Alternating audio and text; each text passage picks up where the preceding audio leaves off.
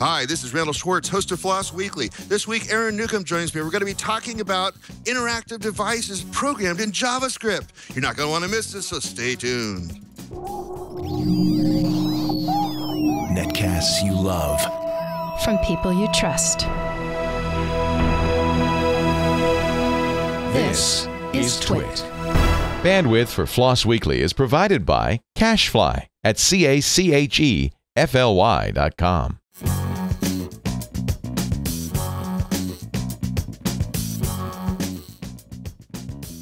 This is Floss Weekly with Randal Schwartz and Aaron Newcomb, episode 365, recorded December 1st, 2015, Kinoma. This episode of Floss Weekly is brought to you by Braintree. Even the best mobile app won't work without the right payments API. That's where the Braintree V.0 SDK comes in. One amazingly simple integration gives you every way to pay. Try out the sandbox and see for yourself at braintreepayments.com slash floss and by DigitalOcean, simple and fast cloud hosting built for developers. Deploy an SSD cloud server in 55 seconds. Try it today for free. Visit digitalocean.com, and once you sign up, be sure to enter the promo code FLOSS in the billing section for a $10 credit. It's time for Floss Weekly, the show about free Libre open source software. I am your host, Randal Schwartz, merlyn at Stonehenge.com, bringing you each week the movers, the shakers, the big projects, little projects, projects you may want to look at right after the show. Do not do it while you're driving if you're driving, but go ahead and try this out afterwards. Uh, I'm coming to you from lovely, once again, beautiful downtown Santa Monica. And uh, joining me today again, uh, frequently he joins me as co host. Joining me today as well, Aaron Newcomb. Welcome back to the show. Hey, Randal, how's it going? I, I, think it's well, you know, I, I, I, got one hour less of sleep last night than I wanted to. It happens frequently, but it's apparently uh, I was I was hanging out with some of my friends, and I was about to leave, and then they walked me around in the corner, and there's some more of my friends I wanted to hang out with, and I went, oh god, and so I stayed up with them for another hour and a half, and I was like, okay, that was a mistake, but uh, I think the caffeine's kicking in any second here, and it should be just fine. And I presume you're speaking to us from your usual uh, cluster of things around you room. Yes, yes, from my lair, from my lair where I do my my daily work, but also all my a lot of my maker activities when I'm not down at the makerspace. And uh, just for John, I did take the phone off the hook today. So, uh, yeah, no more no more loud rings. Hopefully during the during the show. For some reason, uh, if you haven't noticed in the past, my phone only rings this early in the morning when I'm doing a show. So. so I, I, I preempted all that. I took the phone right off the hook. Awesome. And it's really appropriate that you're surrounded by all your maker style things because today's show is, in fact, very maker related. We have Peter Hoddie on today. He's with representing the Kinoma company, Kinoma organization, and he's going to be talking to us about all sorts of tiny devices that can be programmed with, and here's the kicker JavaScript. What do you know about this so far? I'm sure you've researched a little bit. Uh, well, I have. I actually got to see one when I was down visiting uh, Maker Media headquarters down in uh, San Francisco um, I got to see a few things, and this was one of the things that I got to see. And it's a really interesting platform, uh, especially since it's built around JavaScript, which isn't necessarily the the I would say the the go to choice always for for makers, but there's always a need for people come from different backgrounds, and there's always a need to have uh, tools that work with what you're comfortable using. And so it's a really cool platform, both hardware and software. And so I'm excited to talk to our guest and learn more about it. Well, let's contrast this just for a second with what other platforms use. I mean, we had, uh, I, I remember processing was a language for a while. Is that still being used? Yeah, processing still being used. A lot of people that are using Raspberry Pi now um, have a whole variety of, of choices, right? So a lot of people use Python for Raspberry Pi, uh, but you can use Perl, of course, for Raspberry Pi or Java. Uh. They all work, of oh. course. So, um, yeah, and so people use what usually whatever they're whatever they're comfortable with, and um, I would say JavaScript. There's been a void around JavaScript um, uh, until now. Of course, you can run JavaScript as well uh, on on Raspberry Pi, but um, uh, certainly not on Arduino, for example, uh, which uses C++ variant. So you know that that's another big one. But uh, yeah, JavaScript has has kind of been missing. So it's interesting. It's an interesting choice for a uh, for a platform like this. Yeah, we'll find out a lot more about that. But first, I have a word from our sponsor because this episode is brought to you by Braintree. Developers around the world have embraced Braintree V.0 SDK as the easiest way to add secure mobile payments to their apps and websites. No matter what payment type, Braintree accepts it. Apple Pay, Android Pay, PayPal, Venmo, credit cards, even Bitcoin. And if something new pops up, Braintree will support that too. It's the same payment solution used by Uber, Airbnb, and GitHub, so you know it scales. There are simple, secure payments, code you can integrate in minutes. And developers, we got you. Don't worry about taking days to integrate your payments. With Braintree, it's done in minutes. The Braintree code supports Android, iOS, and JavaScript clients. And there's SDKs in seven languages .NET, Node.js, Java, Perl, yay Perl, PHP, Python, and Ruby. Elegant code with clear documentation and 10 lines of in app code. So, Braintree gives you an easy way to accept multiple payment types in one integration. Integrating it into your app is as easy as inserting a few lines of code. Try out the sandbox and see for yourself at braintreepayments.com slash floss. And we thank Braintree for supporting Floss Weekly. And let's go ahead and bring on our guest, Peter uh, Hoddie. Welcome to the co- welcome to the code. welcome to the show. Hey, Randal. Morning. Hi, and where are you speaking to us from? I am in Santa Clara, California. Oh, okay. So I'll wave in your general direction there. yeah, just wave north. Yeah, very good. So we gave our sort of uh, intro and sort of what we think this is all about. But why don't you go ahead and give us the thirty thousand foot view? What what is what is this all about, and what problem is it trying to solve? Sure. So um, we kind of have two sides to the house. There's the hardware side and the software side, and the, the really great things kind of happen when you put them together. Um, the hardware side is a product called Kinoma Create um, that Aaron mentioned briefly before. I'm just going to hold one up so people who haven't seen it kind of know what they look like. It is a green and white box. You can see it has a screen built in. Um, there you go. Mm-hmm. Um, runs Linux inside, and we uh, we built it as a device for makers, really specifically for makers. But um, for people who want to get into making, um, in large part, uh, who are, it turns out, intimidated by having a bare green board with lots of, of pins sticking out and wires and, and just all the things that they have to do to get started that are so unfamiliar. You know, there's a, there's a lot of people who want to try making, um, but don't want to start at that level. And so, you know, we put a nice case around this. We put a touch screen on it. And that allows the device to have its own personality, its own character that people can interact with directly instead of having to type to a command line. And then, as you guys mentioned in the intro, the other really important thing is the software. And everything on this device is built around JavaScript. So even though it's Linux inside and you can telnet in and do all the things you would normally do there, um, the device really is fundamentally programmed in JavaScript. And so makers, people who are getting started, can live completely in the JavaScript world and never have to dive down in, into the Linux layer to create their first projects. And we, again, we find that to be a really big deal because this power, you know, Linux is powerful. Um, but that that's also something that has a fairly steep learning curve for somebody who just wants to blink a light. And, and so we're really both on the hardware and the software side trying to provide a nice pathway in, but it's, it has all the depth that's there. It's not a toy. It's not just a place where you know you're going to learn and then move on.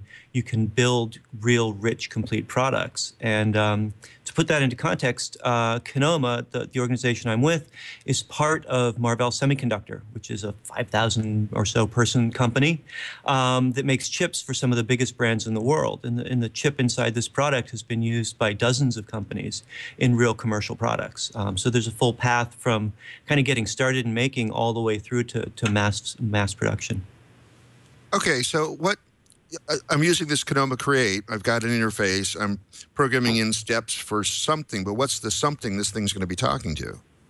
Yeah, so you know we um, we believe uh, very deeply in, in openness, and so the, the something is is more or less any sensor that you can buy off of you know the usual sites like an Adafruit uh, or a SparkFun, um, and and so we just have open open ports, open pins for serial, for uh, I squared C, for digital, for analog. Um, so you can plug in more or less anything. So the same kinds of projects that you would make with something like an Arduino, like a Raspberry Pi, you can make with Kinoma Create. Um, the cool thing is, of course, it, it, distinguishes itself in a couple ways too. It has a built-in touchscreen, and it has a built-in battery and so uh, and Wi-Fi, in fact. And so we had uh, one of our, our customers take this thing and strap it to a hang glider, um, mm. and he hmm. ran sensors out to the wingtips, um, so he could could sense the temperature out there, and then he has a touchscreen mounted in front of him on the screen. Uh, on, on the hang glider, so he can control the interface and he can see what the temperature is out at the edges of the wings um, because it's based on the, the rising and falling temperature. The hang glider stays aloft longer. And, and so he was able with Kinoma Create to really focus on building a great software experience that he could literally use, you know, while gravity is pulling him down to earth at a ridiculous rate. Um, and, and focus on getting that right and not all of the details of making the hardware work and getting the kernel installed and built and all that stuff. And so it, it's, it's a really great project and an environment for people who want to build mobile projects um, and, and who are just exploring new ideas. Wow, you know, I'm just thinking. I'm reminded. Uh, Steven Roberts is uh, one of my longtime friends, and uh, he built the uh, the bike Nomad that had all this satellite gear and uh, com- portable computing. It had you know touch keyboard and things like that. And he went on to build a boat, and he was tired of sucking up fumes from cars. he wanted to get out on the water, and so he started to build all that too. And I remember that uh, he was working with another friend of mine, Ned Konz, who was going to program the interface all in Smalltalk because that seemed like a nice interface programming language. But it sounds like this would be right up his alley because he could wire all sorts of sensors into it. He'd have this nice touch screen and he could drive it off batteries. He had solar panels on there and also had, had a pedal, so he could actually pedal to charge up his batteries. So it sounds like the kind of thing that he would like, right? Yeah, no, exactly. It's uh, and it's funny you mentioned Smalltalk. Um, you know, the uh, the history of JavaScript is in fact that a lot of the ideas came from the Smalltalk language, um, and so it is a great language for building user interfaces and and the the the whole idea of just very quick prototyping, being able to to add a user interface object to modify its behavior without having to define new classes. Um, and to do mm-hmm. that very rapidly is something that we, we found is so critical for user interface. You know, people people think when they're building a new product idea, oh, I've got the idea, I build it, and I'm done. And of course, it turns out that's never the case. Your your idea was okay, but not perfect. Your choice of sensors and components was terrible, and you know your screen layout for user interface was all wrong. And you're you're constantly changing those things. And so what you want is what we found is you want hardware and software that you can just change really quickly, um, so that if you have a good idea in the you know three o'clock in the morning, you can get it working. Um, the other thing we found that's really cool actually is um, having the screen lets you simulate all kinds of buttons and knobs and controls, right? And so we had a bunch of interns this summer who started out building a project that was entirely driven with the touchscreen, with all on-screen buttons. And once they kind of had the interaction right and figured out the kind of knobs and buttons they wanted, they went down to uh, Tech Shop and and built a physical set of controls and then wired those in to use instead right? And so the, the different components there are, are useful at different phases of your development. It's not just idea, build, done. There's there's there's so many steps and and reiterations of what you're doing in there uh, to get to something that works well. And by playing with it in uh, JavaScript, you don't have to uh, keep buying different hardware and trying that. You can actually keep prototyping. That sounds like a really great interface for that. Uh, what's I think one of the components of what the, this uh, what you've done recently is, is bring out uh, ECMAScript 6. Can you describe what that brings to the picture? Yeah, it's um, it's a really fascinating thing. You know, JavaScript as a language has been around, you know, since the dawn of the internet, and um, it clearly uh, is is incredibly well established. And just to go back, fifth edition was kind of uh, the standardization of all the different interesting ideas people had in browsers. Um, and you know, things like jQuery had evolved to provide a consistent interface in JavaScript. Um, because the browsers weren't consistent. Fifth edition, which is a few years ago now, um, really made all that standard. And so um, JavaScript has become a platform, not just kind of a language with lots of variations. And the, the committee, the people who did that, were incredibly self controlled in fifth edition in that they didn't, they had all these ideas. You know, they're language people, and so they, they know all the things a language could be. And they didn't put any of that in fifth edition. And they, they seem to have kept a very good list.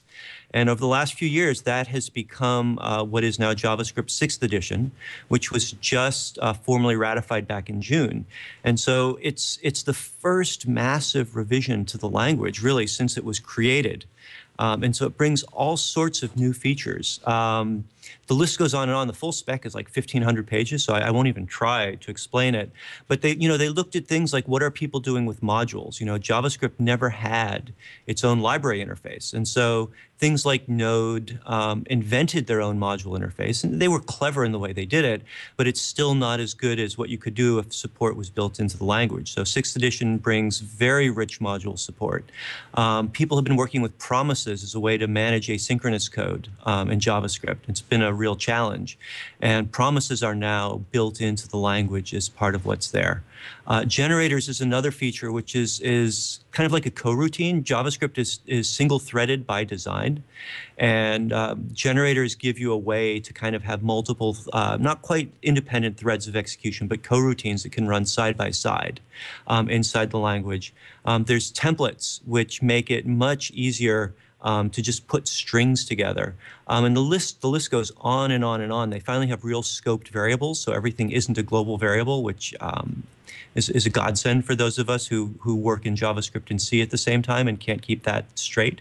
Um, and the list goes on and on. I actually wrote a blog post called Language Matters um, when we announced our JavaScript 6th edition support that went through a whole lot of why we think it's important.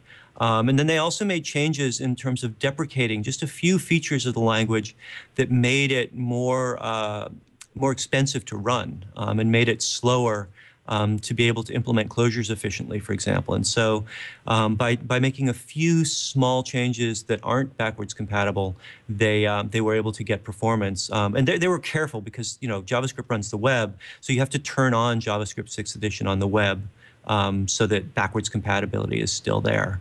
Um, the other thing I wanted to mention is, you know, we um, we got way out in front on JavaScript 6th edition support. We knew it was inevitable, um, and we thought the features were superb for our users. And so back in December, we moved all of our development resources to working on 6th edition support. And um, as of this summer, we are at there's a, there's a standard set of tests um, by a, a, a, guy named goes by Kangax um, that all the different browsers and engines run against, and uh, the Kinoma engine, which is called XS6, has implemented 97% of the new uh, JavaScript 6th edition features. For the for the real geeks out there who will, will go and check that, it's like 96.8 something, but you know round.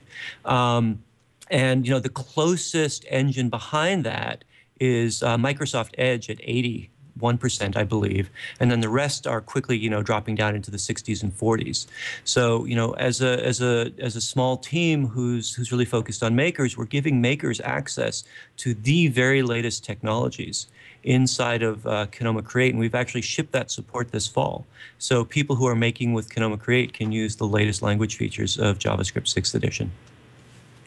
So, uh, uh, which I'm kind of curious at this point. I mean, I mentioned it up front that JavaScript probably wouldn't, might not be the first thing that a maker would think of to use for a project unless they were familiar with it already. So, what was there ever a time when you considered using something else uh, besides, you know, did the JavaScript come first, or did the platform come first, and then oh, JavaScript would be perfect for this? Yeah, no, it's a good question, and it's. I, I, wish I had a really careful, thoughtful answer about that. We, um, uh, I'll give you the, the, the complete truth, uh, we started Kinoma, the effort about, uh, it's, it's, almost 15 years ago now. And we were very focused on portable software. And we knew at the, the C level kind of how we wanted to do that. And we knew we needed a scripting language.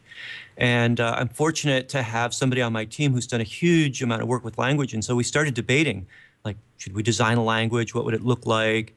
And we were we were crossing the street in San Francisco one night after a few too many drinks, and we just said, "Oh, everybody like uses JavaScript," and this was this was 15 years ago, and we said, "So why don't we just do that?" And I, you know, I asked my friend, "Can you implement that?" And he's like, "Oh yeah, no problem," and and he did, and and so we've been using it ever since, and we. Um, you know, it was a good, it was an easy call. Of course, everybody then knew JavaScript, or at least a ton of people did.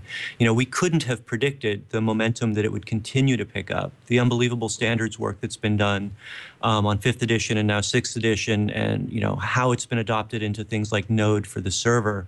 Um, but um, you know, so we, we kind of got lucky, and we think in terms of a good choice. Um, I think you know languages are fascinating, and I have some people on my team who try every new language that pops up, and, and I learn a lot from them. But you know, as a programmer, I I always want to have a language that I'm very fast in, and I can work quickly and comfortably in. And, and what I've found over the years, and I've really been working in JavaScript for forever now, is that it, it it just gets the job done and and there's just you know it's so well documented so well standardized and there's so much code out there you know on the web um, that that I can use it um, and, and, just be fast. And then, It's also a nice transition between C because the syntax is, is quite similar and the structures are, are similar. And so the mode shift mentally between C and JavaScript is relatively painless um, compared to what it would be with some other languages. And the other thing I notice is that I mean I think JavaScript is one thing that certainly sets this apart. Um, but the other thing that sets it apart is the platform itself, the hardware, uh, which you don't see. I think you mentioned this earlier on. Usually, you get a board. If you think Arduino or Raspberry Pi, uh, you get a board that you know looks something like this. You get a green board and there's you know a bunch of pins on it and and uh, for beginners it's very difficult in fact we're we're set we're doing some classes on on raspberry pi and arduino at the makerspace just to get people past that you know fear of ah, i think i'm going to break this how do i set it up can i touch it mm-hmm. Um, all of those things are, are i think are barriers to entry for for um, makers who might haven't been might haven't tried these types of platforms for a while. So I think that the the hardware itself and the the um, uh, I mean, it, to me, it almost looks like maybe John can pull up some some pictures off their, off your website because there's some beautiful pictures on there. Um, to me, it almost feels a little bit like one laptop per child. Um, I don't know if that if if that crossed your mind when you were putting together the color scheme and the um, the, the interface or how it looks. I mean, it looks like it's and, it's not necess- I don't want to say it's necessarily for kids, but it does look like it would be very good in an educational setting as well. Um, so, uh, did those things cross your mind when you were designing the actual hardware piece of this as well? You know, we uh, it's a good question. We very much had beginners in, in mind, and and even kids um, as a possible um, audience. Um, Marvell, uh, the you know our parent company, actually was one of the major funders of uh, OLPC and um, provided the the main silicon for that. Um, so those ideas were very much in the air, um, although consciously it wasn't part of uh, wasn't wasn't a design point. We were very much coming from kind of the board and how can we make this accessible for makers, but we wanted it to be comfortable, right? And so that green and white color scheme. Was deliberate. We knew that wasn't going to look just like uh, you know a Raspberry Pi um, sitting on a table, and that gets people's attention and it's comfortable. You know, we've done uh, workshops with uh, just beginners, people who have really never worked with hardware before. And, you know, they laugh as they start to play with it. Um, the fact that there's a built-in touchscreen means that they don't have to interact with the computer to even do basic things. We can teach them how to plug in components, how to blink a light, how to read a sensor. Um, just using the apps that are built in. You know, we have one called Pin Explorer, where it lets you, if you have an analog control attached, graph the output of the graph, the the control um, without having to have a PC or a web browser or anything. And that direct interaction where people can just focus on the device and not have to worry about a command line in the PC really changes kind of their confidence level and their willingness to go in. We're hosting a, uh, an after school program with a group of um, elementary school students um, uh, here at Marvell uh, this fall. And they have no problem with Kinoma Create. They just pick it up. They're like, okay, I know what this is. It's a touch screen. They're like, that works like a tablet. That works like a phone. I know how to use that, and so they're ready to go. And you know, they learn the they learn the fundamental ideas from there, uh, and then they can move on to um, writing scripts and you know working in an IDE and all the things that that, that you do as a maker. Uh, but um, they really can just get started in a, in a painless way. And we, we have found that to be a big deal. Um, and we, we get huge interest from, from educators every time we show up at Maker Faire because they know that if you put a Raspberry Pi into a classroom with a bare board like that, um, you're going to need to get more soon because um, kids will do what kids do. Yeah, and, and also I think even uh, Eben Upton has said that um, that platform, even the Raspberry Pi, his platform, the Raspberry Pi platform, isn't necessarily suitable for everybody. Mm-hmm. Um, I think he was asked once if you know you should give it out to everybody in a, in a school, and he said, "No, I don't think you should give it out to every every kid. Um, some some kids aren't going to take to it. So I think this is much more friendly, especially for younger kids. Um, but what about the programming side? How friendly or how easy is it for kids to actually uh, pick up the or, uh, kids or beginners, let's say. They didn't necessarily mean kids, but right. beginners. How easy is it for beginners to pick up uh, the code and start using? I know you have a concept of uh, blocks, uh, uh mm-hmm. Kinoma JS blocks. I don't know if that makes it mm-hmm. easier.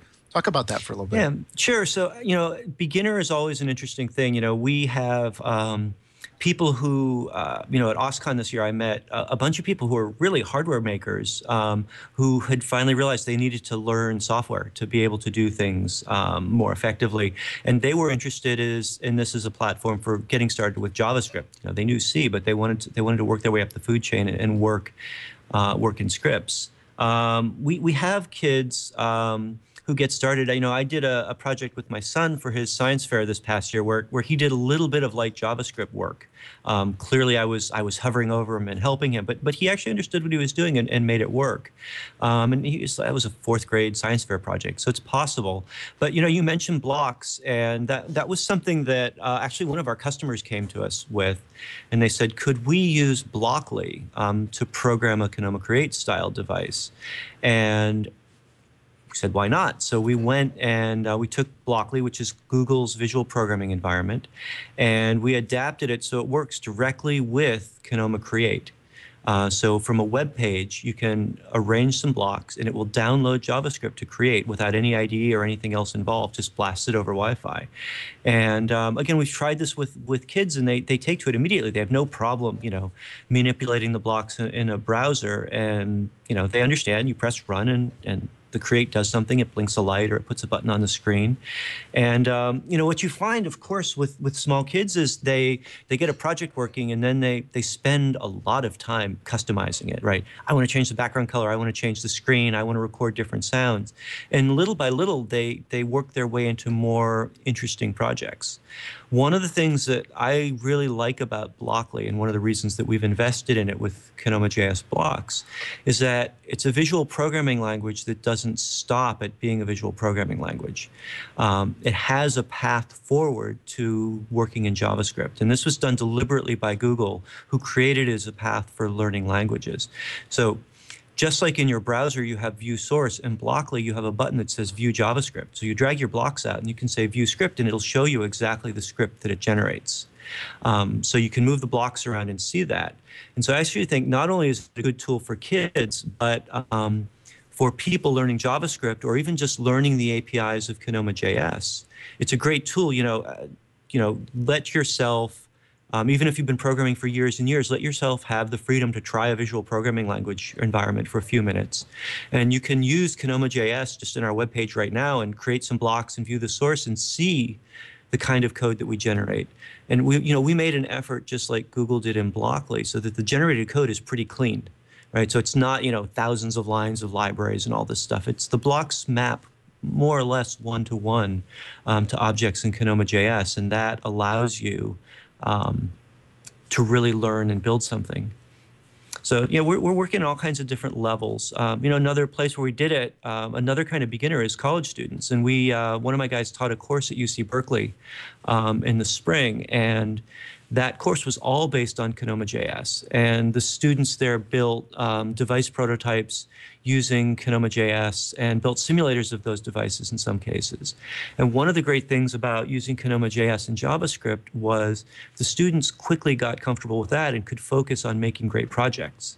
You know, I, I, had seen that course in past years, and a lot of the students, when it came to final projects, didn't have something that worked. And so they showed their poster and they explained their vision, and, and the idea was great. And, you know, they explained why it didn't quite work. But everybody, when they worked with, with our tools, had something that worked and worked well and could really talk about the ideas in the project and, and show how it worked. And so, you know, they were able to get going, get going quickly and get over the hurdles of learning the technology so that they could focus on building a great project for their class. Wow. Wow, that's really cool. And I think this mm-hmm. is important um, to, to have a platform like this that uh, makes those things easy uh, because it, it is off-putting, especially for people that haven't done it before. Uh, to try to pick something up like this and say, okay, I want to make this light blink, but I have no idea how to code.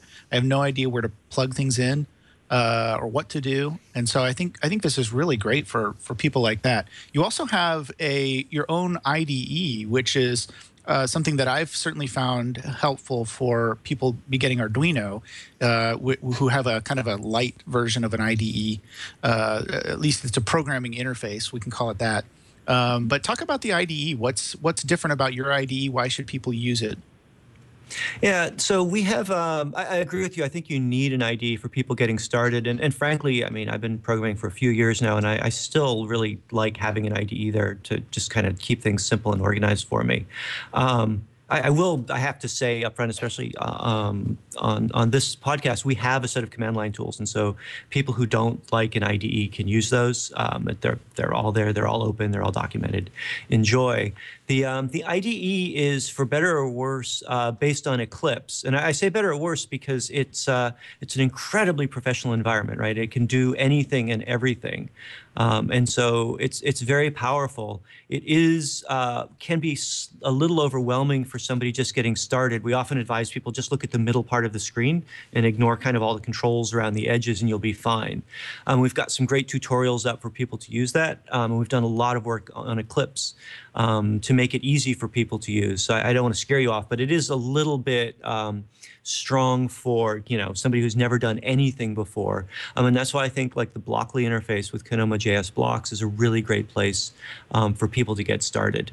Um, and I said the other thing that's very cool is that the the app itself is in some ways the, the device itself is in some ways the IDE. You know, a lot of the built-in apps um, are doing the things that a typical command line tool or an IDE would do um, in terms of files, in terms of network connection, in terms of configuring pins, um, and setting up the device. And so we really tried to make it so that people could do a lot of what they wanted directly with the device instead of having to rely on a separate IDE or, or a separate um, a separate command line. And I think one of the things that's interesting that we're we're playing with is how much of that can we move to mobile right? Because at this point, um, everybody has has access to either a phone or a tablet, um, and in fact, a lot of people, kids, um, may have a phone or a tablet and not have a computer, right? And so we'd like people to be able to do as much as possible um, from those environments, and that's something we're looking at. Um, you know, Kinoma JS, our environment runs on mobile just like it runs on the desktop and just like it runs on Kinoma Create, and so people can build there. Um, and so we, we think that that's an interesting part of the environment, and, and the tools shouldn't all have to live on, on the computer. Yeah, and it looks like, I mean, to take that uh, uh in another direction as well. I mean, it looks like you're thinking about that in terms of the other platforms you're working on, and because there's uh, smaller versions, right, without the screen. I think there's mm-hmm. Kinoma HD and Kinoma Element, and I'm assuming those are for people who don't want or don't need the the touchscreen display and, and all of the all of the uh, pins and everything. They can just pick up a small device and, and run with it. You know exactly, and Kinoma Element is a is a fascinating product. We're um, we're uh, just beginning mass production on that now, and it, it's a single. The, the, chip is, is is worth talking about for a minute. It's a single chip that has built into it a half a megabyte of RAM, um, the CPU obviously, uh, and Wi-Fi. And um, so the only thing you really have to add to it to get to a working uh, device is, you know, some electricity and a crystal. And so, and the, the chip is literally uh, like a centimeter on a side. Um, oh yeah, here, here, I can show you. It's that board, and the, the little chip at the diagonal there is uh, is the chip I'm talking about. Um, and so, you know, like Kinoma Create, we put it in a in a nice case, so people don't have to have a bare board lying around. Um, but but that chip is a computer, um, and and we're able to run JavaScript in a half a megabyte of RAM on that. And so we really see that as being uh, an IoT device. And and again, Marvell has commercial customers that are in deployment with real products in the market um, that are based on that. So it's it's not just an interesting experiment. Um, it's really a place where uh, people can build real IoT devices using JavaScript and using C. Um, on the other end, you mentioned Kinoma HD, and that that is that goes completely in the other direction. I actually don't have one in front of me at the moment, um, but it's a dongle, sort of like a, a Chromecast, um, and it plugs into the back of your TV, and it has an HDMI out. And it doesn't have any pins because the idea is it lives behind your TV, and it's your bridge where you can JavaScript your TV, right? And you can control what's on there, pull in podcasts, uh, pull in photos um, but have a completely open environment um, to drive your TV and build apps there. Um, and at um, a couple conferences earlier this year, we showed um, the whole collection of devices Kinoma Create, Kinoma Element, and Kinoma HD working together, where the Kinoma HD was providing a dashboard on your home on your TV. Um, so you could see that and interact with it that way. Um, so there's a lot of neat things you can do here um, where people can weave together, knit together the kinds of scenarios um, that they're interested in bringing to life. And because they all run the same, uh, the same basic JavaScript software, once they've learned those skills, they can apply them to all kinds of different devices and all kinds of different scenarios. And we, we think that's really important too. Well, that's a great segue to my next question, which is how portable is the code? You call this a prototyping platform. Um, so, is the goal for people to use this to develop something and then take up the code and put it somewhere else, or is are you thinking people are going to use uh, an element, for example, to once they get everything developed and working, they would take the maybe the element and embed that into a product somewhere or put it out in the wild? Um, so, so I guess maybe that's two questions, but I'm just kind of curious about code portability, especially. Yeah, the um, the code is is entirely designed to be uh, portable. We run it on iOS, Android, Windows, Mac OS, a bunch of different flavors of Linux, FreeRTOS, and ThreadX on a regular basis. Um, so you know it'll run where you want to put it um, without a, without a big deal. And, and all of the the native code that, that powers the engine is just ANSI C. It's not even C++. So it really ports incredibly well. Um, and the idea is, yeah, you start prototyping in JavaScript and then you ship in JavaScript. You know, the entire user interface of Kinoma Create, everything that you see in terms of the built-in apps is written in JavaScript you know, we're really eating our own dog food. We're building things the way that we want um, developers to build things. And so there's no such thing as a first party app versus a third party app. Everybody has access to the same things and is building on the same tools.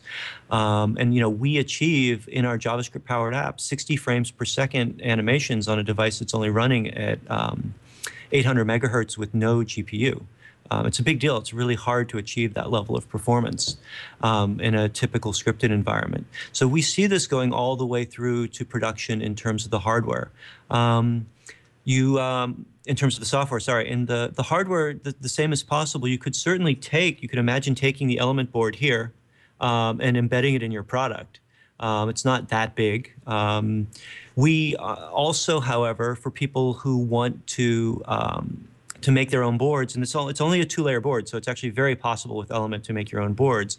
Uh, we publish, for all the hardware that we ship, we publish all the design files for the board, for the PCB, and for the cases, um, so that people can um, do whatever they want. We've had people with Kinoma Create take the boards apart and build their own cases, for example, um, so that they can they can get a different form factor, a different material, a different look.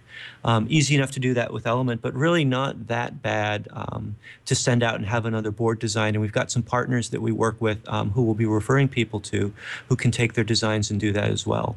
Um, so yeah, no, I mean, we really uh, we we we're interested in making this as easy as possible for the beginner, but we're trying to build a full path through the software where you could you could start with something like Kinoma JS blocks and end up with mass production, and, and some of that code that you generated with blocks might be part of that mass production um, effort, and so you don't reach this point where you take your prototype and you throw everything away and start again.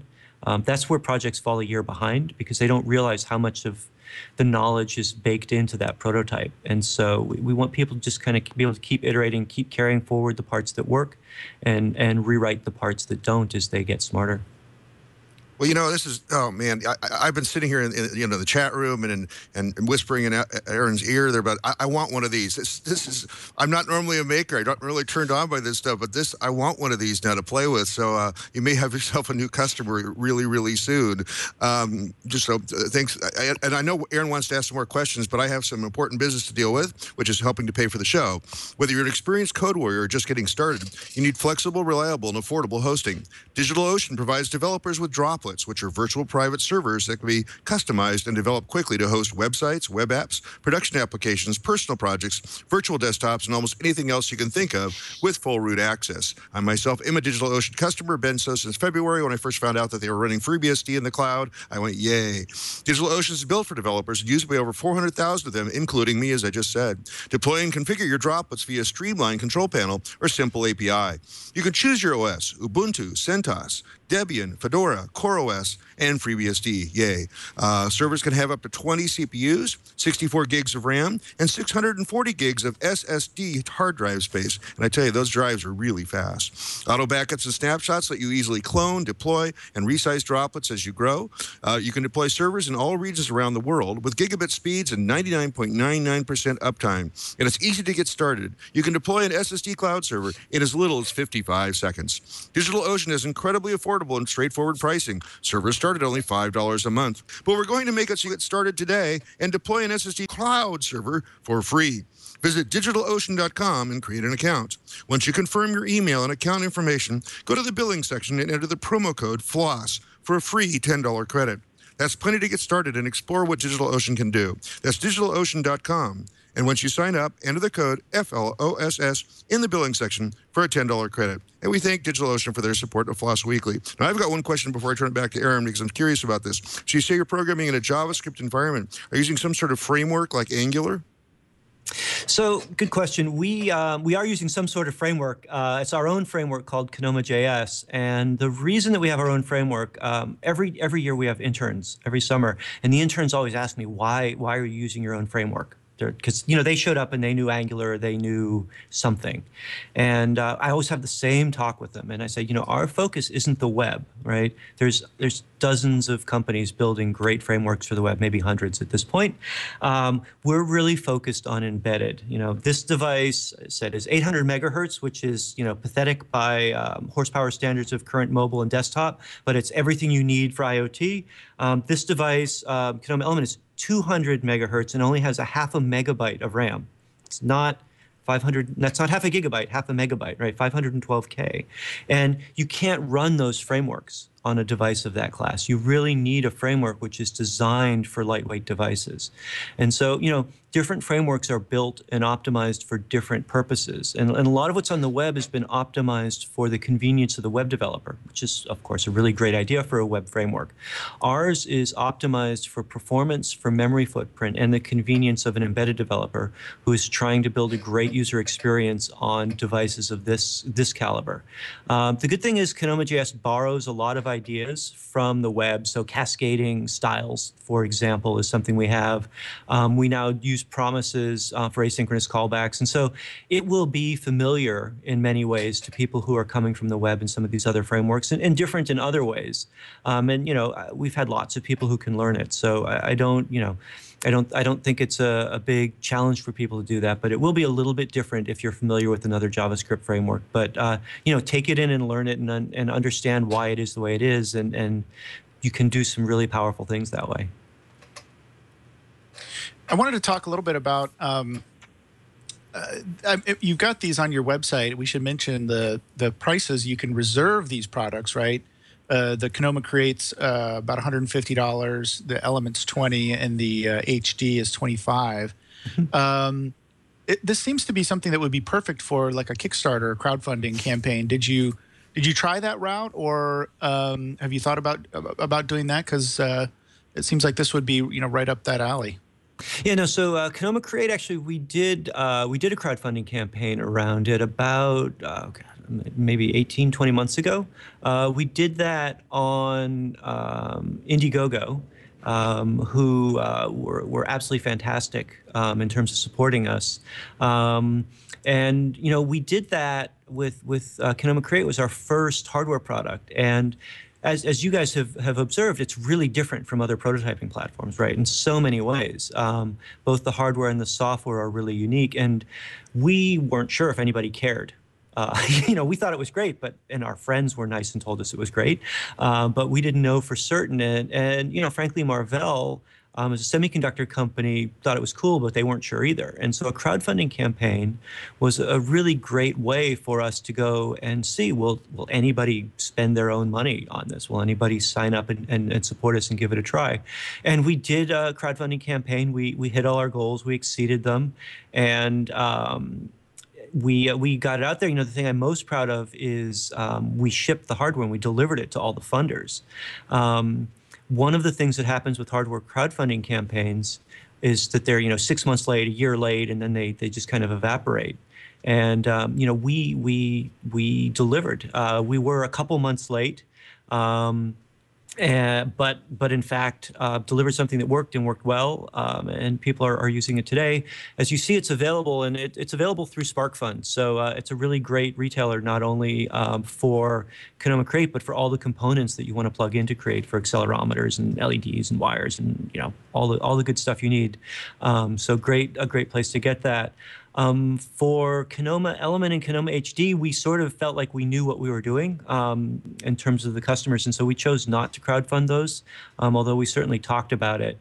Um, there is sort of an itch in the team to do more crowdfunding, but I, my, my sense is we'll probably do it more around um, something that's a, a, little bit more of a consumer product with a developer angle than a, a developer-focused product at this point. But you know, time will tell.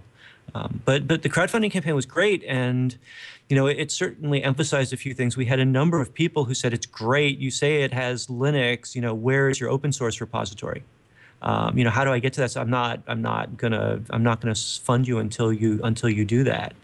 Um, and so that that some of those messages really kicked us into gear in terms of getting our open source uh, work together, and our GitHub repository is there, and everything is there, and people are using it um, as it should be. Um, so crowdfunding uh, is a really spectacular way to validate ideas, to get some money, um, if that's what you need for your project, um, and also just get your priorities straight because your customers will tell you um, really what's important to them, um, and they vote with their credit cards, which is is a really powerful thing. Uh, that's fantastic to hear about. I mean, this is an open source uh, show after all. Um, and I was just going to get to that. So, that, I mean, that's just fantastic to hear that people were demanding that the code be open source um, because that's that's really what it's all about. Um, it, it, talk about that for a little bit. I mean, how open is the product? Um, is it all open? Is the are the hardware specs, for example, open? If I wanted to design, I mean, you kind of referenced there's some partners that can help uh, lay out different types of boards and things.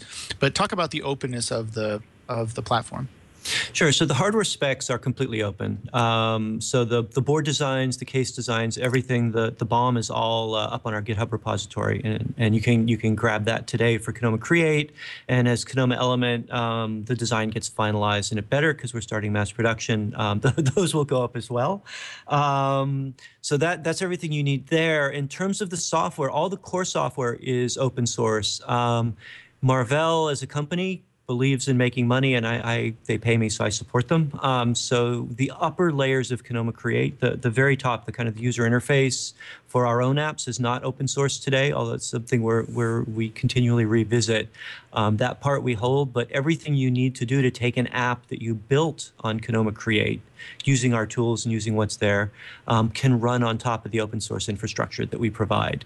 So there's nothing stopping you from taking something all the way to production. And we have people using that open source in, in a number of ways, some of which I can talk about. We actually have a, a developer in France um, named Haruni um, that's using our open source code to build Android and iOS apps. And those are in the, the App Store and the Google Play Store today.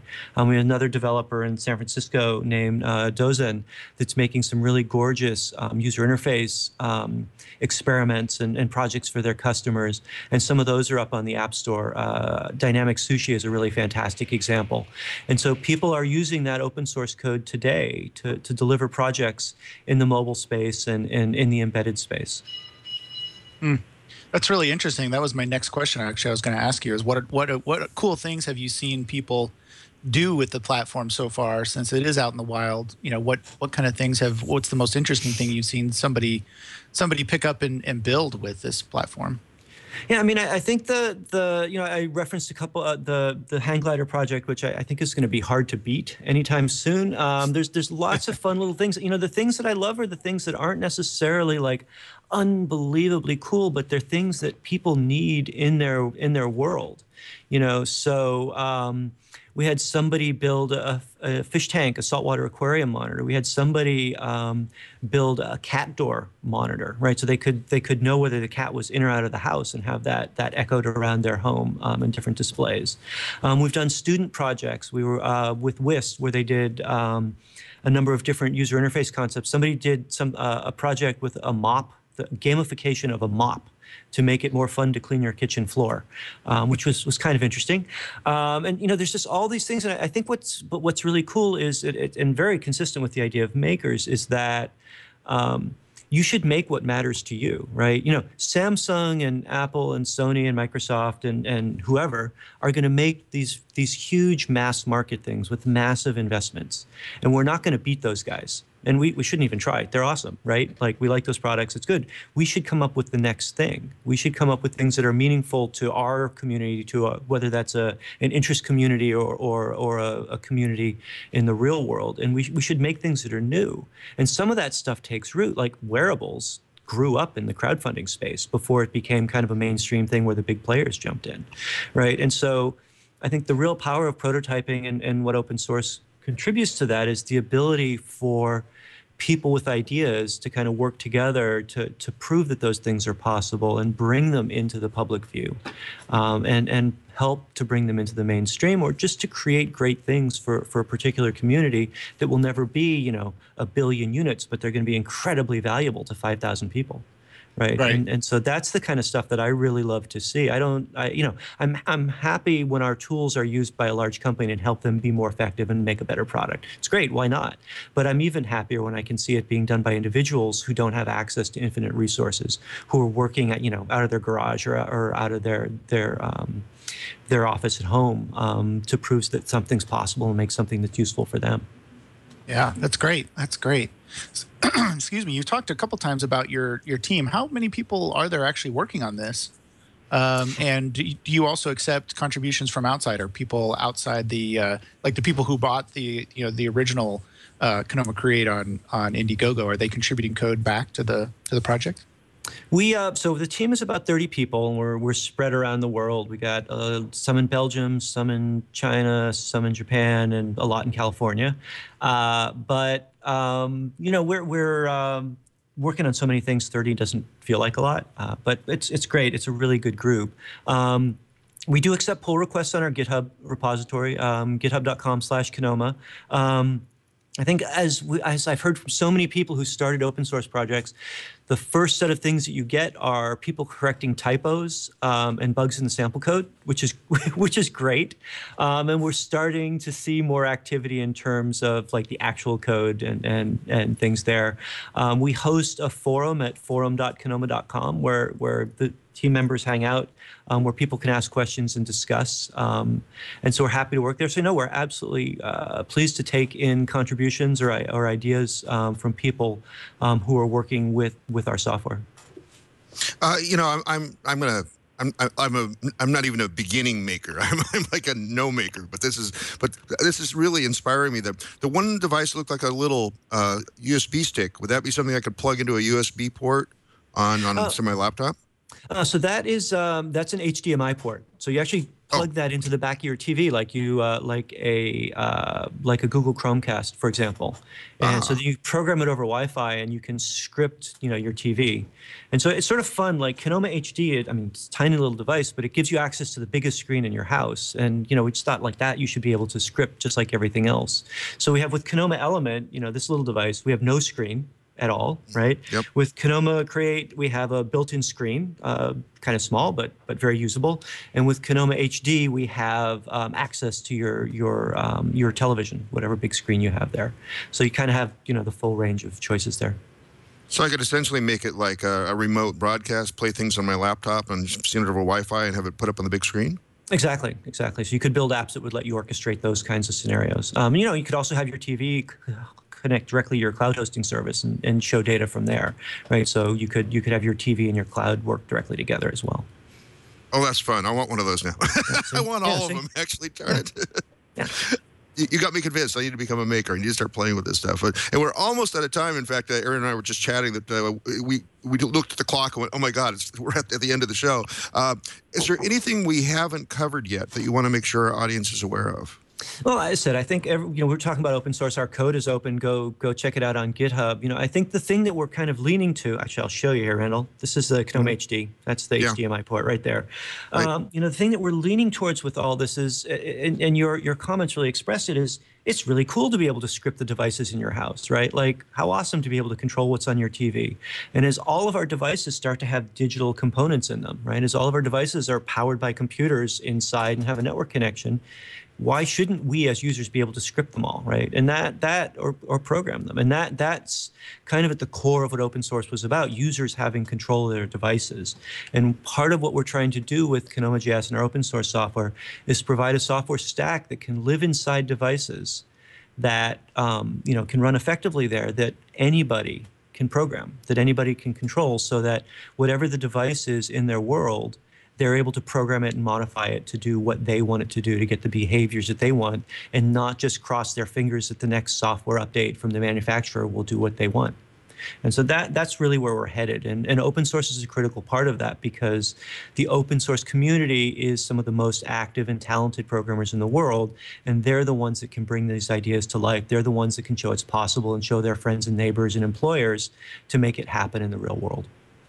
Awesome, awesome. I, just, I, didn't. I don't think it got said earlier, but uh, I played around Blockly a little bit last night, and uh, it reminds me immediately of Scratch. Uh, was that mm-hmm. deliberate?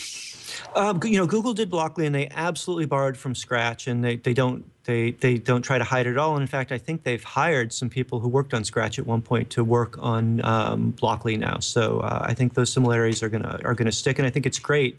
You know, we've we've talked to kids who got started with Scratch. They look at Blockly and they say, oh, "That's familiar. That's great." And what what a great way for them to kind of ease their way into programming. Absolutely, absolutely. And I've got two final questions that I have to ask, or they yell at me in my uh, in my email, and that is, uh, what's your favorite scripting language? Oh, but that's easy, right? We've been talking about JavaScript all day. There's only one answer. So okay, yeah. that's easy. And your favorite text editor? You know, it's terrible. Um, I use whatever text editor my uh, my environment gives to me, which means these days I'm using Xcode, but I don't love it. The, the last text editor I loved was MPW, which means I suppose I should be using BBEdit, but but I'm not. uh, well, I, we could keep talking for another hour easily. I know Aaron had at least another hour of questions to ask, and I had a bunch that I'm sort of uh, sitting on just because Aaron was asking such great questions. But I really want to thank you and appreciate that you came on the show, Peter Hoddie. Uh, welcome, uh, welcome back. No, thanks for being on the show. There we go. It's my pleasure. Thanks so much. Good talking to you guys. Very good. Good. That was Peter Hoddie representing the Kinoma project. Uh, Aaron, I already know what you think, but why don't you go ahead and tell us? yeah, well, this is this is really cool, especially like the aesthetic value of what they've done. You don't see that from a lot of these types of projects. Uh, as I've mentioned a couple of times, you know, you get the the green board, or perhaps it's a blue board, uh, whatever color silicone and, and additive you want to put in there. But um, uh, but I like the fact that this is relatively easy for someone to pick up uh, and use, right? Especially for beginners. We'll call them beginners. They might not be kids. They might be grandmas and grandpas. Um, so I think it's it's relatively easy to use, which is great.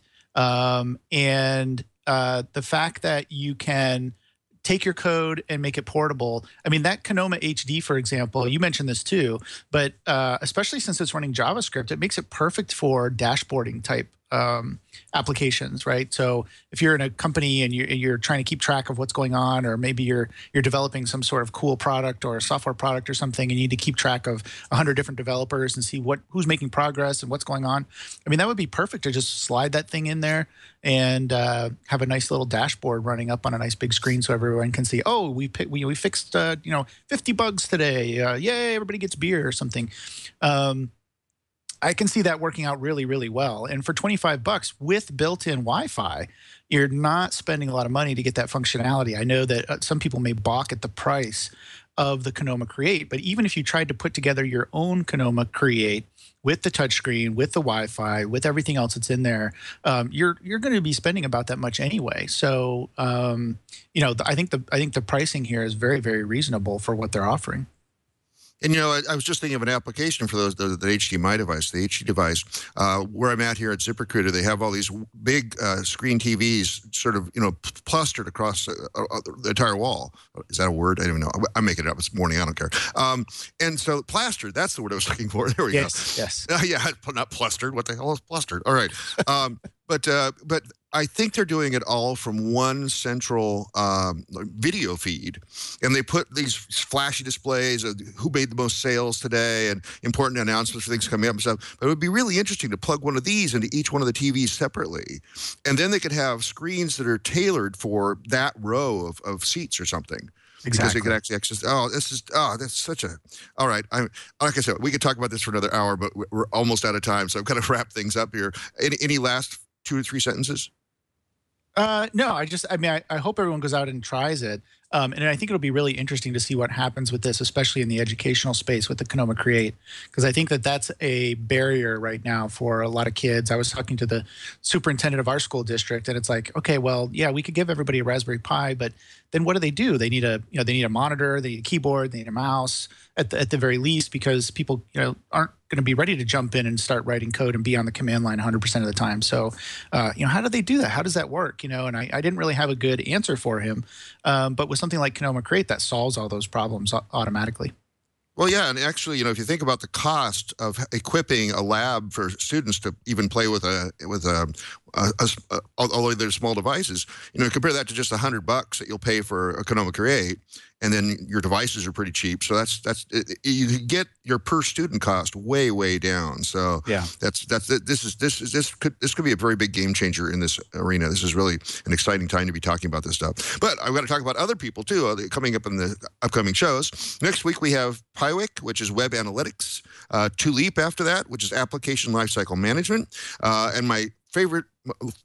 well, the, the, show I'm looking forward to quite a bit is uh, Stephen Ressler's coming on to talk about Bridge Designer and the Bridge Contest, which again, getting students involved in something very, very interesting and actually somewhat practical, actually building a bridge in, in their simulator and seeing if they how to do it with the least number of parts to allow these trucks to go across. Uh, open for high school students to be able to participate, and it's also open source software so you can play with it. Which is I was building bridges that were all falling a lot, which is really cool.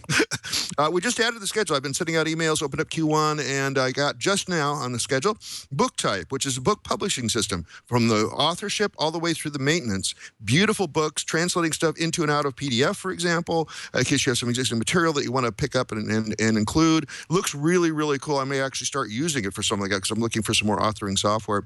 I also added the schedule Open Unison, which is identity management. So if you have two factor authentication, how do you integrate that with your LDAP system, for example? So this is for things like that. Uh, also added the schedule just recently uh, OpenAV, which is a uh, OpenAV Productions, which is a musical synthesizer and performance uh, device. So all sorts of audio, uh, virtual synthesizers, uh, drum machines, everything. And this this is going to be an interesting show to listen to, which will be really fun. Um, also, real close to the schedule, we're just doing a couple of arguments about dates, is MuseScore. Speaking of music again, professional music typesetting, all open source. Beautiful stuff coming out there. I was looking through their website uh, as I was planning for the show. So I have a lot more people still on the short list. I'm going to fill up Q1 probably in the next uh, month or so. Uh, but I think we're going to be able to fill every single slot. We have so many people on the short list, just a matter of me getting all the email out. Uh, to see that list, you can go to our homepage, twit.tv slash floss, and link there it says see our upcoming guests. Uh, if you if there's some project that you want to um, to to have on the show, uh, almost all these projects actually were people that you recommended to me. So, and don't just send me the name of the project, please. It, it's sort of wasted my time because then I have to go look up stuff. Instead, you should contact the uh, project leader or the community representative or whoever sort of seems like they'd be the right person to talk to and have them email me, merlyn at stonehenge.com. That email address is on the homepage of the show. Uh, and then that's how we fill shows up. We have a live stream. We did not take any questions this time from the live stream, but uh, we often do. Uh, we tape at 8 p.m., 8 p.m., 8 a.m. Pacific time. Do not confuse the P in Pacific with PM. That's what I got to figure out here. Tuesdays, uh, generally, at live.twit.tv, you can actually come in and see the show being taped, see all the mistakes behind the scenes, and also comment on the chat room. Uh, you can follow us on Floss Weekly on Google Plus and at Floss Weekly on Twitter. You can follow me at, at merlyn on Twitter and on Google Plus as Randal L. Schwartz. I actually don't source many things on Twitter directly. Everything's all usually linked back to something I just did on Google Plus. Um, uh, as you might have noticed, I've been gone for a week. Uh, I was on a cruise out of uh, San Diego down to uh, um, uh, Mazatlan, Puerto Vallarta, and um, Cabo.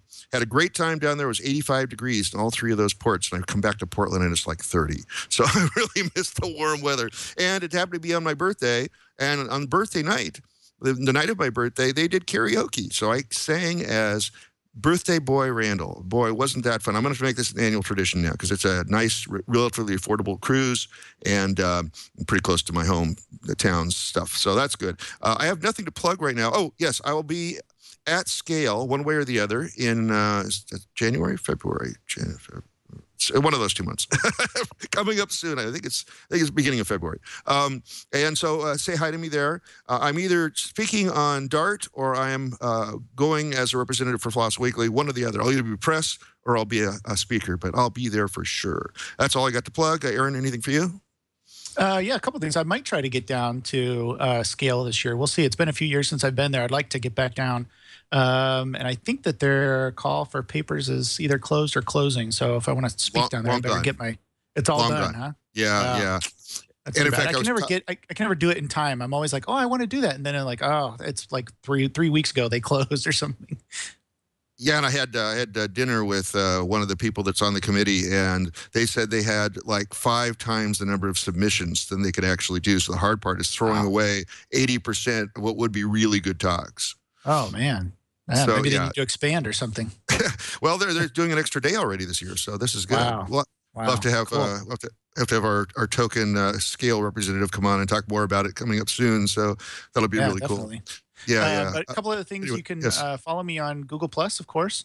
Uh, I'm Aaron Newcomb there. You can also follow what I'm doing at Benicia Makerspace, which I run here in my hometown. Uh, we're doing a lot of really cool things there. And this weekend, actually, tune in uh, live if you want to, or follow it up in the recording. I'll be on the new screensavers. So, uh, talking about some really cool things. Uh, the plan right now, I think, is perhaps I'll bring a project that we've been doing in the Makerspace, a 3D scanner um, that we use to scan in images, and then you take them over to the 3D printer and print them out. So if you want to duplicate something or or just scan it in and modify it slightly, maybe add something here, add something there, and then print it out, make it work better, you can do that. So uh, that'll be this weekend. Uh, to be slightly devious, uh, can it scan like a key and make a duplicate of that key? Uh, yes. Although, if you're, yeah, you could you could totally do that. Um, it may be some some keys may be more difficult to print out than others. For example, if you have a void in your key on both sides of the key, uh, Ah. it might be difficult for the 3D printer to do it. You could do it, but it just may be it may not come out exactly right, and then it may not fit in your in your lock. So, um, could you do it? Yes. Uh, would it would it be difficult? Yeah, probably. Yeah, I think when we had Bre Pettis on the show, I actually asked him that question too, and he went, "Oh, hmm, yeah." Yeah. Yeah. Devious guy. Anyway, all right, we're running over. So uh, thanks, Aaron, again for co-hosting the show, and thank you all for for hosting last week. So that was really cool. Oh yeah. Anytime. I'm uh, always happy to jump in and lend a hand. Awesome, awesome, and we'll see you all again next week on Floss Weekly.